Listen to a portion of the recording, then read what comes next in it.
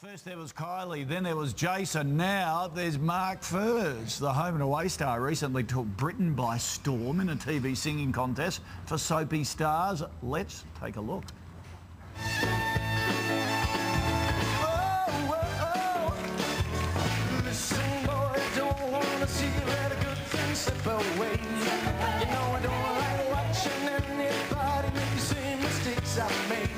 She's a real nice girl, she's always there for you. But a nice girl wouldn't tell you what you should do. Come on! Tell her about it, tell her everything you feel.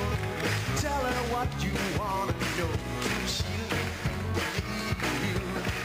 Oh, we don't know. we didn't know you got the words wrong at all. Fantastic. Yeah, you shouldn't have fessed up to that No. little bit. He was telling us he got some of the words wrong. We were all listening and you shouldn't have said anything. that No, I didn't. It was fine. It was perfect.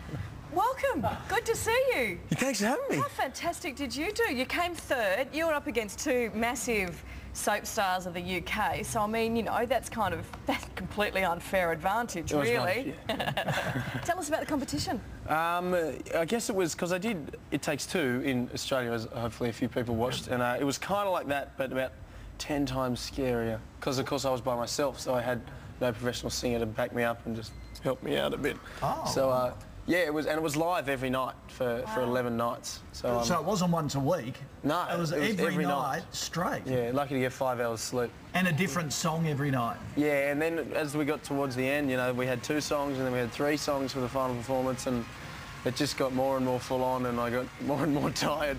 It was a massive show. Uh, Six million viewers, uh, 11 contestants, and of course two Aussies. There was you and Alan Fletcher from Neighbours Yeah, was also there. It just, it's just phenomenal. I guess we sort of probably have, I guess if we're not there, have no concept of just how big this is. You're a superstar now.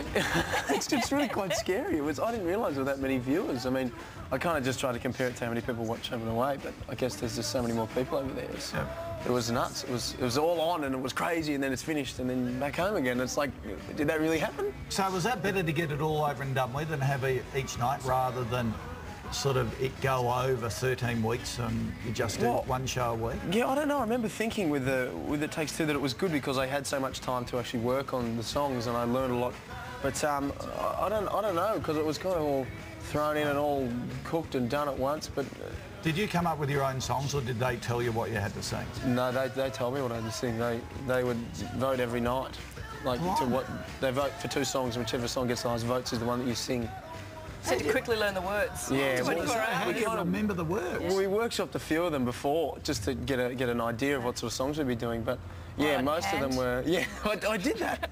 and like like I forgot the words. You just make them up. I, I think I said, tell her what you want to know, so she'll make you a meal. That's a good enough That's line, I enough. really think I, so. I think that's a better lyric. so if these, if these jet boys forget the words, I'm bloody watching.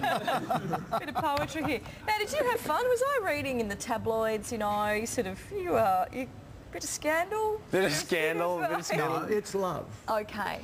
Is there any love in the air? Of course, there was love in the air. No, the Poms, the Poms love to uh, create whatever kind of drama that they possibly can. So uh, yes, And they, that's the young lady in question. that's the young lady in question. She's hideous, isn't she? Was she nice? She's she's Nice lady. fantastic. That's yeah. Miss Gemma Atkinson. She's great. And you got on well? star. Got on really well, yeah. I mean, it'd be good to catch up with her, but I mean, the fact is she, she lives in England, so. What do you like about her? What do you like about her, Tony? No, no, I'm asking the questions here. You know, was it her cooking? It was a, it was a cooking and her um, her singing skills. Right, okay. Oh, that's terrific. Are you going to take it any further? Can we see Mark The singing, Furze we mean. The singing. Oh, Singing sorry. I was. Yeah, no. yeah, I just will Mark jump Furze in. singing and- Idol? um, there'll be no idol kind of thing for me. I guess that was the most. Um, I'd love to do an album. I mean, but with my with my band, it's not really the kind of mainstream sort of music. It's more kind of classic heavy metal that I'm really into. So, Right. So if I can get that up and going, that'd be fantastic. It's not really Jason or Kylie business, but we'll see what we'll see what we can do. Yeah, okay. Definitely not All right, mate, Jason congratulations. And can um, I also say well done on all the stuff with Sally. You know, you had a whiff of Rocco there right from the start. and and your support for her was tremendous. I'll sort him out. Don't you worry. Your hair's grown a bit from last night, though. Hair has grown, but it's it's it's just the water in the bay sometimes. Right, okay. All right, see you tonight. Yeah. Yeah, you need a flame and shave. Sorry, I forgot to warn you. Thanks for Coming coming up. in, Mark. See you soon. Thanks for having me, guys. How you can help drought